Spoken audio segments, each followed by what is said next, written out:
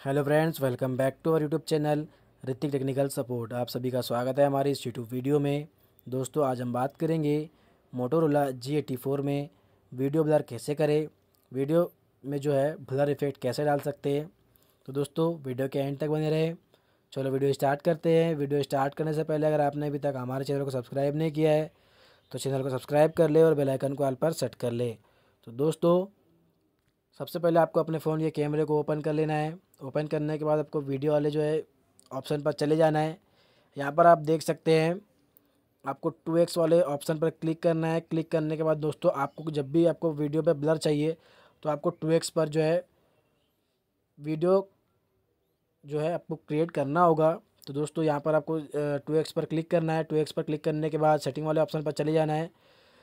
Setting वाले option पर जाने के बाद आप देख सकते हैं यहाँ पर ऑडियो जूम वाले ऑप्शन को इनेबल कर लीजिएगा और एफिशिएंट वीडियो वाले को वीडियोस वाले ऑप्शन को भी इनेबल कर लीजिएगा।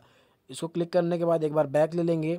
बैक लेने के बाद दोस्तों आप जहाँ पर भी क्लिक करेंगे, उस जगह उस जगह का फोकस जो है, बस वो फोकस की जगह का जो आपको वीडियो है, वो आपका क्लियर होगा। बाकी जो आसपास का जितना भी एरिया है उस वीडियो के, वो वीडियो जो है आपका ब्लर नज़र आएगा। तो दोस्तों वीडियो अच्छी लगी तो वीडियो को लाइक करें और हमारे चैनल को सब्सक्राइब करना ना भूलें।